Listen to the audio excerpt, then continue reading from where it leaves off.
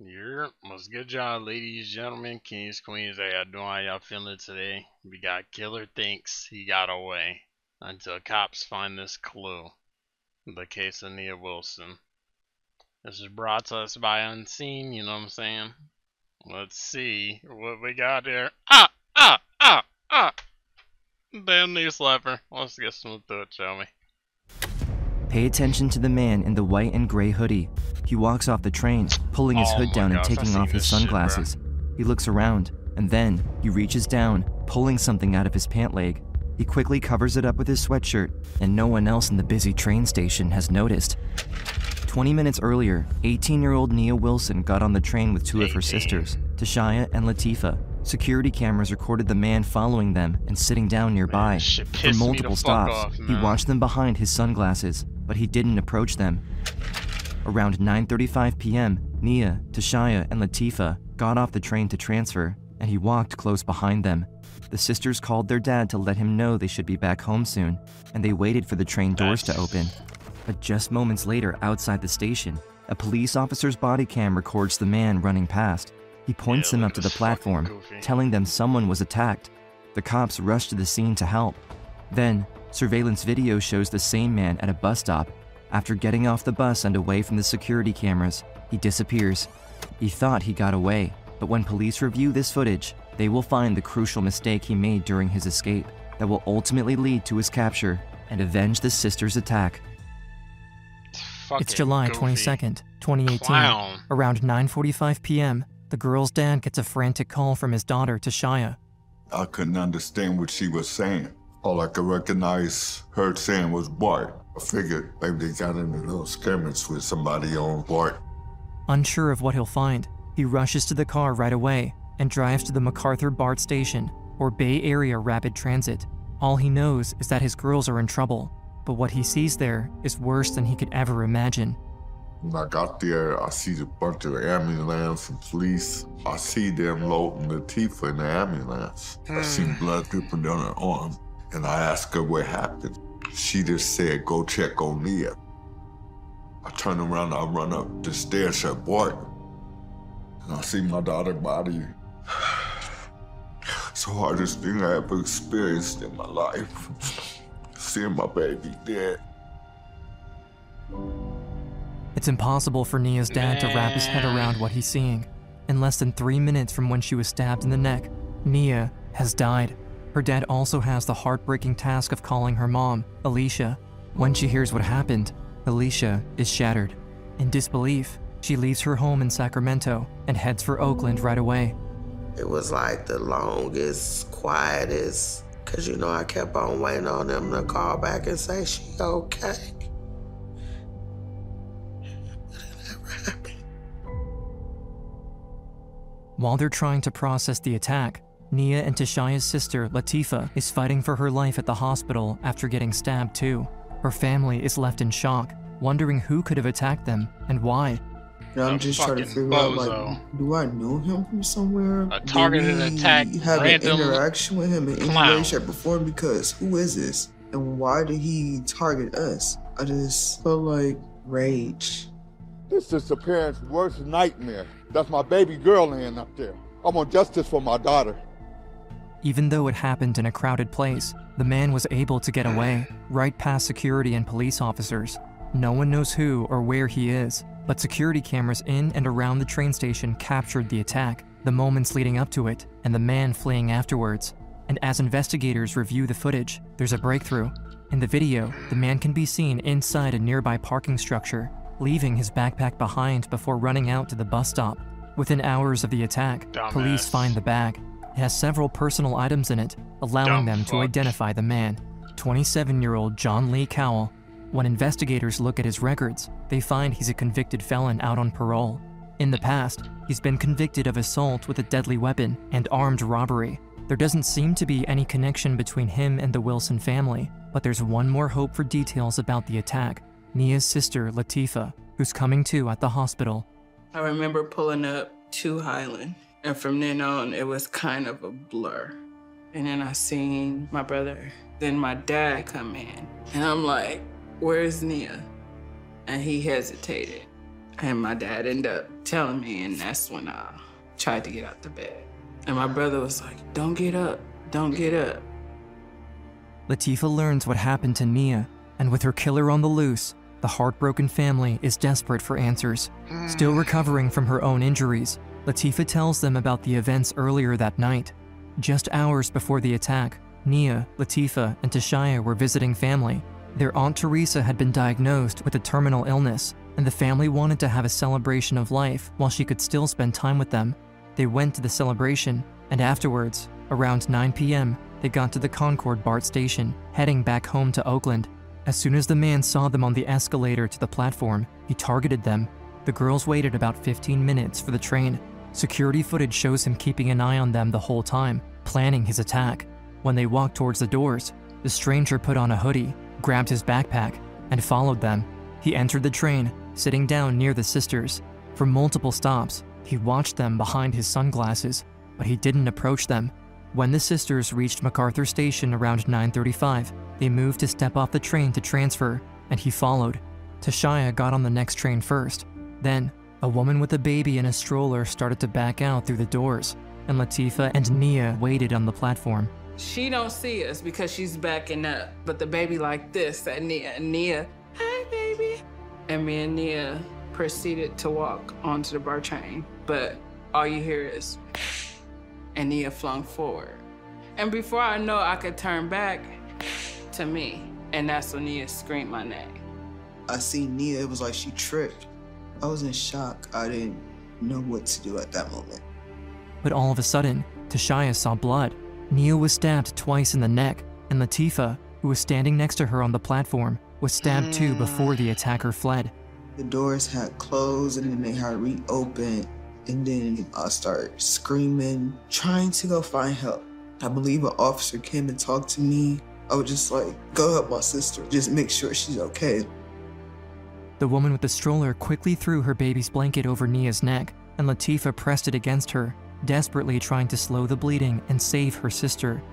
And all I could think of is like apply pressure.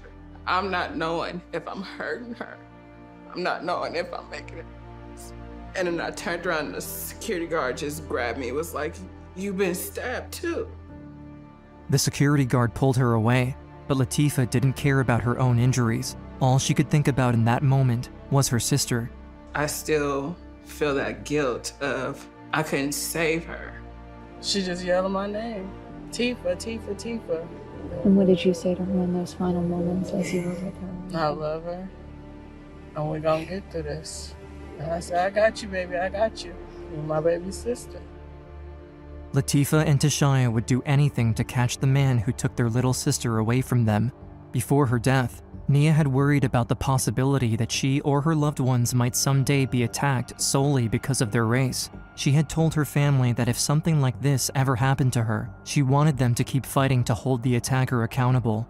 Now, facing Nia's fears coming true, her family refuses to let her killer get away with it. Nearly 12 hours after the attack, there's renewed hope of bringing the man to justice when police share his photo and information with the public. He is a violent felon who is currently on parole, and we currently have an active arrest warrant for his arrest for the murder of Nia. But when I tell you all my brothers, sisters, cousins, everybody was looking for him.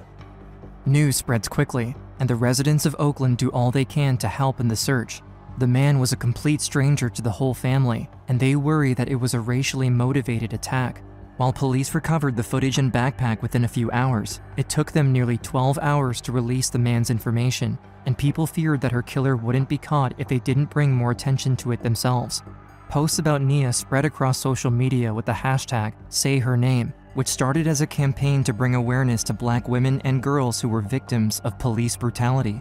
As the movement grew, it was used to bring more attention to victims of anti-black violence.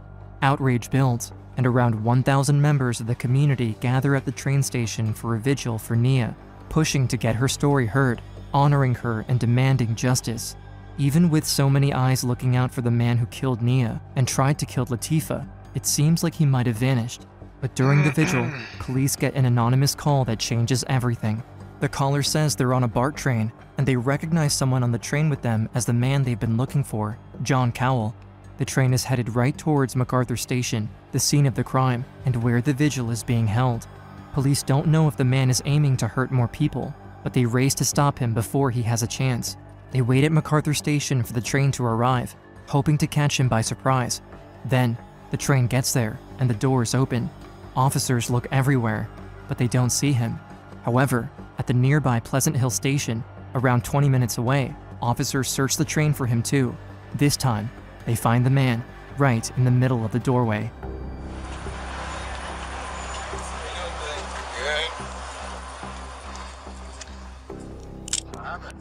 Tell you in a minute. What's your name, sir? John Cowell. He doesn't put up a fight or try to run, and officers arrest him without incident. Less than 24 hours after the attack, the manhunt has come to an end. But while the man seems cooperative in this footage, he still has a plan to try to escape justice. In February of 2020, John Lee Cowell goes on trial. He has a history of mental illness, and he pleads not guilty by reason of insanity. When he testifies, he leans into it, saying he believed the sisters were aliens who kidnapped his grandmother. He just made a mockery out of it, like the things he was talking about. Out up there because he wanted to play crazy. At one point, I intended to play the video to demonstrate that he knew what he was doing. He started screaming, yelling, cussing at me, telling me that I knew he was innocent, and simply disrupting the courtroom. Even after the judge repeatedly warns him to stop, he continues his rant, cursing at the prosecutor, and gets removed from the courtroom. The security footage from the night of the stabbing makes it clear he had a plan to attack and escape, even having a backup outfit to change into afterwards. He targeted the sisters instead of anyone else at the station, and the prosecution considers charging Cowell with a hate crime as well. There were many women and people who entered into the BART platform. He did not focus on any of them. As soon as he saw three young African American women, he fixated on them, and every indication, every angle of the surveillance makes that very clear. While he was in custody, he went out of his way to engage an African American deputy and proceeded to call her lots of racial slurs as well. There's no doubt in my mind that the assault was racially motivated. You killed her because of her skin. You didn't kill her for anything else. But with how difficult it would be to prove it was a hate crime, District Attorney Butch Ford recommends seeking premeditated murder and the special circumstance of lying in wait because he watched and followed them onto the train before attacking at the station. The family agrees, hoping to send him to jail for the rest of his life. And as Ford reviews the phone calls Cowell made while in custody, he makes a breakthrough. Mr. Cowell is happy to speak to his mental health caregivers because Mr. Cowell had mental health issues. There's no disputing that. But he also was forthcoming that he needed to stop taking his medication so that he could appear more crazy when the trial started. I think it was an absolute show. During the trial, he tries to play up the idea that he can't control himself and doesn't know what he's doing. But the judge isn't fooled by his antics, ruling that he was sane at the time of the attack. John Cowell is convicted of the murder of Nia Wilson, the attempted murder of her sister Latifah, and the special circumstance of lying in wait. He is sentenced to life in prison without parole, with him behind. Eat my dick, nigga! Fuck you! Give a fuck about none of that shit, nigga. Fuck about that insanity. Give a fuck about none of that mental health shit. Eat a dick. Yeah, you got mental health issues, alright. You bitchin' ass nigga. Yeah, you do. You can have that bullshit. You can have that bum ass excuse. All the fuck you want to. You can play that shit up in court. Eat a dick. Don't nobody care about none of that shit. Man, it got me about to break something in this motherfucker, man. You gotta be fucking crazy. You really gotta be fucking crazy. Are you fucking kidding me? Are you kidding me? Are you kidding me? Are you kidding me? Man, get the fuck out of here with that shit. The fuck out of my face. Bunch of bullshit. Man, if I heard any any any sentence lighter, if I heard anything lighter than that shit, man, man, man.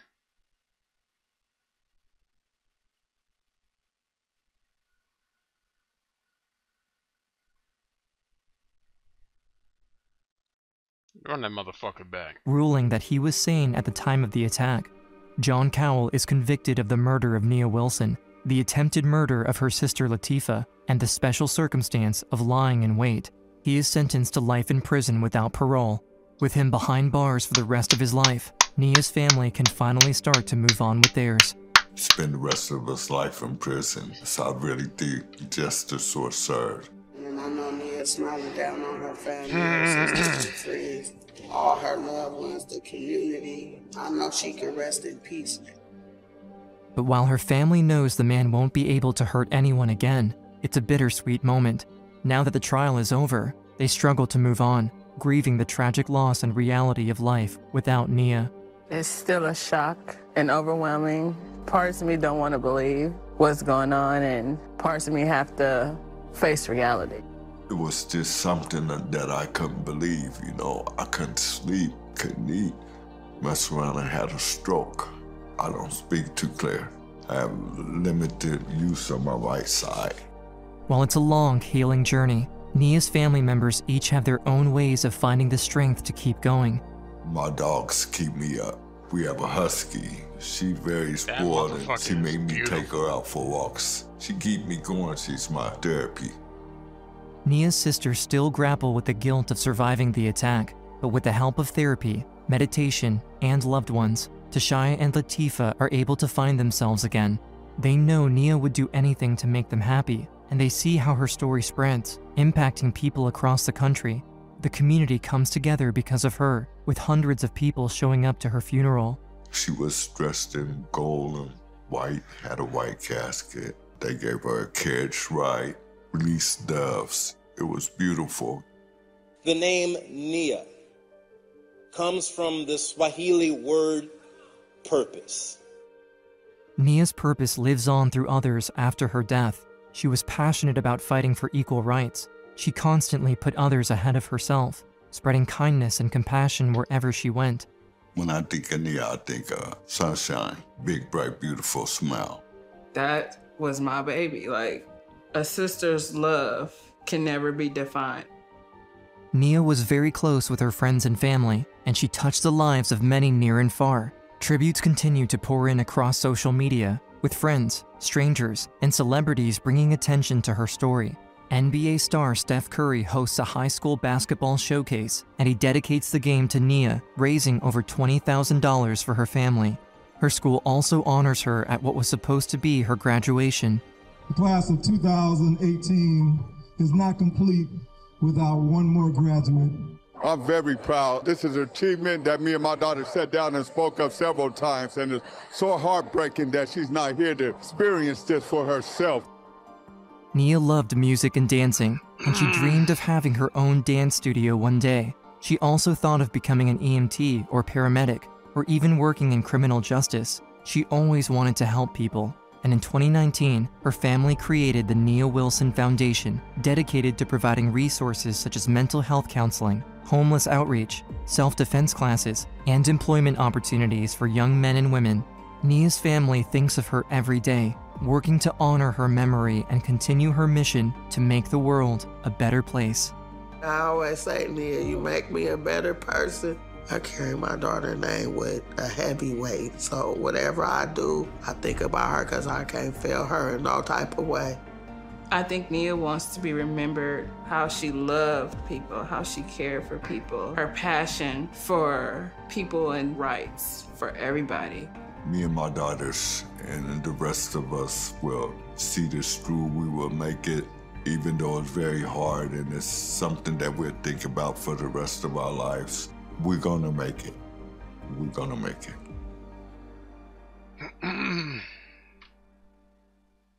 Man.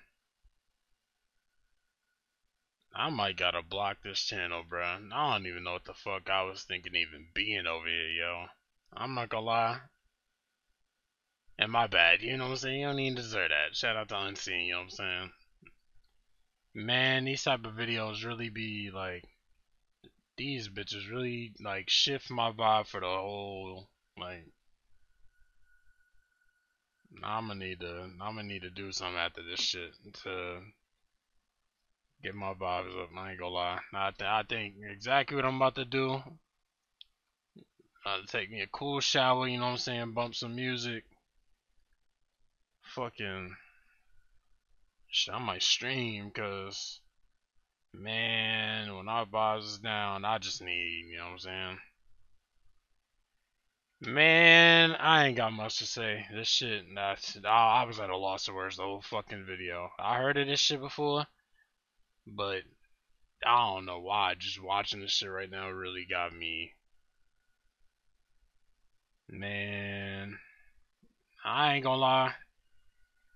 Ain't no excuse to racism. I don't give a fuck. I don't care. Um, if motherfuckers want to play off stereotypes and and and you know what I'm saying, that's one thing, but to go out your way and do some life changing shit for the sake of of racism, I'll never understand that shit. I'll never like